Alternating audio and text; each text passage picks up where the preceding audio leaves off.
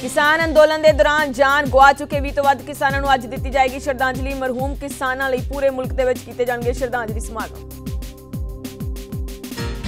ਖੇਤੀ ਕਾਨੂੰਨਾਂ ਦੇ ਖਿਲਾਫ ਕਿਸਾਨ ਸੰਘਰਸ਼ ਅੱਜ 25ਵੇਂ ਦਿਨ ਵੀ ਜਾਰੀ। ਔਕੜਾਂ ਦੇ ਬਾਵਜੂਦ ਦਿੱਲੀ ਦੇ ਬਾਰਡਰਾਂ ਤੇ ਡਟੇ ਕਿਸਾਨ ਕਾਨੂੰਨਾਂ ਨੂੰ ਰੱਦ ਕਰਨ ਦੀ ਮੰਗ ਤੇ ਬਸੇ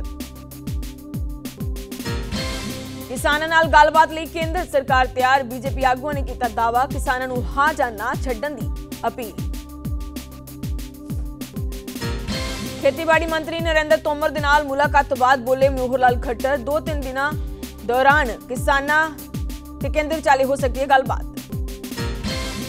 ਖੇਤੀ ਕਾਨੂੰਨਾਂ ਨੂੰ ਲੈ ਕੇ ਹਰਸਿਮਰਤ ਕੌਰ ਬਾਦਲ ਨੇ ਕੇਂਦਰ ਤੇ ਸਾਧਿਆ ਨਿਸ਼ਾਨਾ ਆਖਿਆ, ਕਿਸਾਨਾਂ ਦੀਆਂ ਮੁਸ਼ਕਲਾਂ ਪ੍ਰਤੀ ਸੰਜੀਦਗੀ ਵਿਖਾਵੇ ਸਰਕਾਰ। ਕਿਸਾਨ ਸੰਘਰਸ਼ ਦੀ ਹਮਾਇਤ ਕਰ ਰਹੇ ਪੰਜਾਬ ਦੇ ਆੜਤੀਆਂ ਤੇ ਇਨਕਮ ਟੈਕਸ ਦੇ ਛਾਪੇ, ਵਿਰੋਧ ਵਜੋਂ ਆੜਤੀ ਐਸੋਸੀਏਸ਼ਨ ਵੱਲੋਂ ਸੋਮਵਾਰ ਨੂੰ ਮੰਡੀਆਂ ਬੰਦ ਰੱਖਣ ਦਾ ਐਲਾਨ।